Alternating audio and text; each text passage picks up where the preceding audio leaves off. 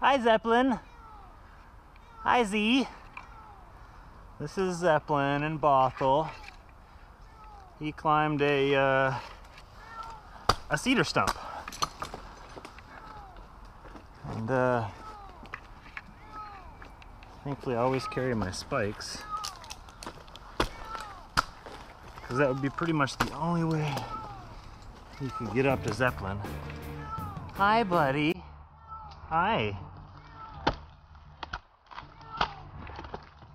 And even more thankfully, this tree is still relatively solid. It's cut down about five years ago. It had died. And it's still safe to climb, thankfully. Ah, Z. Hi. Hi, Fuzzy Face. Hi.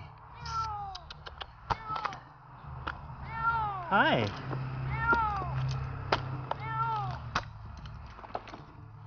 Hi, Z. Hey.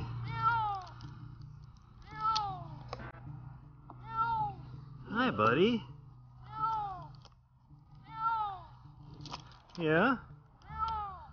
Well, I mean, yeah, you certainly could have picked worse positions. Hi. Hi, Nosy.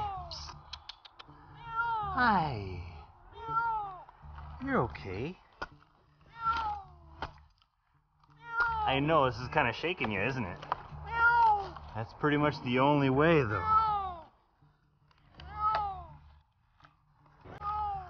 I guess if I would have had a bucket truck, I probably could have parked it right over there, but this smaller tree would have gotten in our way.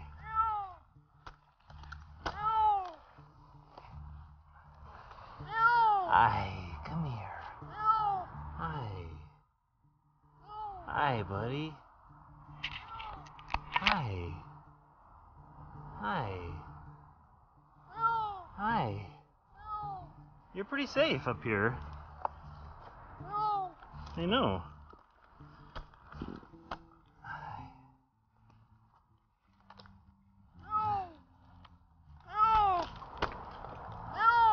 Hi.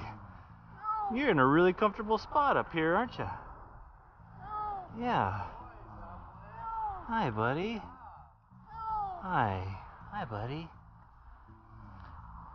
Hi. Hi, sweetie. You're a good kitty. I know you are.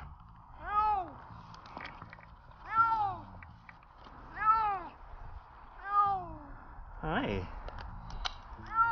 It's not raining. It's not a hundred. Hi, buddy. It's not a hundred degrees out. Did you take a poop up here?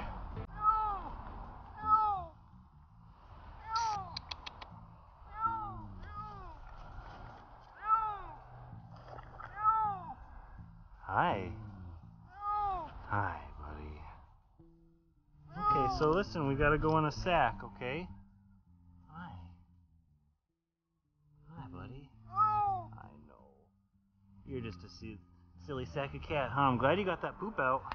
Look at that. Poop. Okay.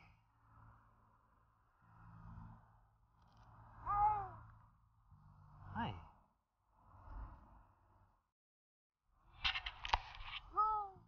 Hi. There's Daddy. There's Daddy down there. Hi, Dad. Hi, Dad. I got. Somebody got me.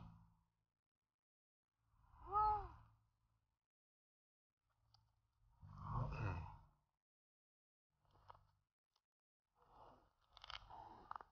I know, I know, it's not the most comfortable thing. But you spun around pretty naturally in there. Some cats just kind of hang out upside down for a few minutes.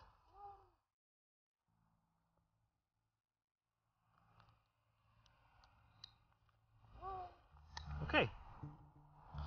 See, that was simple.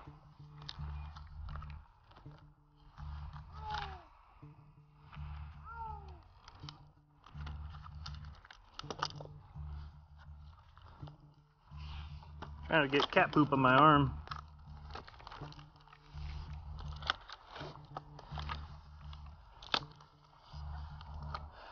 Wouldn't be the first time though.